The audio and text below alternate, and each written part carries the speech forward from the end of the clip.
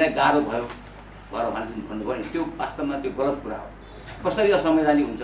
यो संविधान संशोधनको प्रस्ताव। हिजो हामीले दुईवटा संविधान संशोधनको प्रस्तावहरू दर्ता गरेर पनि पास गऱ्यौँ।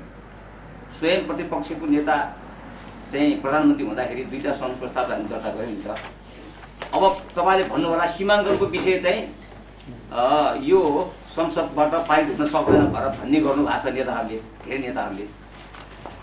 सीमाङ्कनको बारेमा संविधानमै छ नि समर्पणकालीन व्यवस्था अन्तर्गत दुई सय पन्चानब्बे धारामा के छ भन्दाखेरि यो सीमाङ्कनको भन्दा बाहेक र राज्यको शक्तिको बाँडफाँडको विषयभन्दा बाहेक अरू विषयमा चाहिँ सङ्घीय संसदले गर्न सक्छ। र सीमाङ्कनको बारेमा चाहिँ प्रदेश सभाले तिन महिनाभित्र अनुमोदन गर्नुपर्छ भन्ने छ। अब असंवैधानिक ढङ्गको संविधान संशोधन र यसलाई टाइअप गरेर सरकार यो बहानामा संसद अवरोधको विषय देखाएर निर्वाचन कानुनहरू निर्माण नगर्ने प्रपञ्चमा लागेको छ भने हामीले यसको निदान दिन सक्दैनौँ।